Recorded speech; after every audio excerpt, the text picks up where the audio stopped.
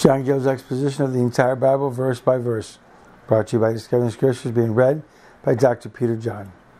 Nahum, chapter 3, verse 6. Reading first from the King James Bible. I will cast abominable filth upon thee, and make thee vile, and will set thee as a gazing stock. Unquote. John Gill quote.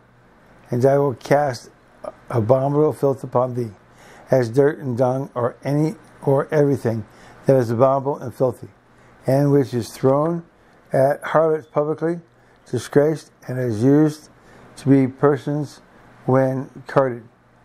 The meaning is that this city and its inhabitants should be stripped of everything that was great and glorious in them, and should be reduced to the utmost shame and iniquity.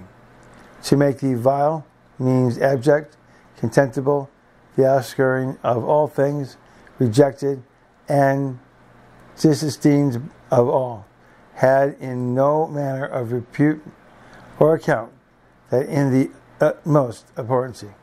And I will set thee as a gazing stock to be looked and laughed at, or for an example to others, that they may shun the evils and abominations Nineveh had been guilty of, or expect the same disgrace and punishment.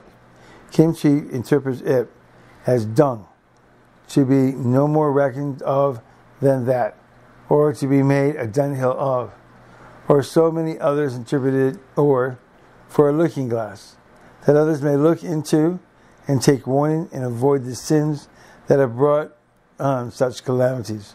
Unquote. King James Version, Nahum chapter 3, verse 6, quote, I will cast abominable filth upon thee, and make thee vile, and will set thee as a gazing stock. Unquote. End of John Gill, chapter 3, verse 6.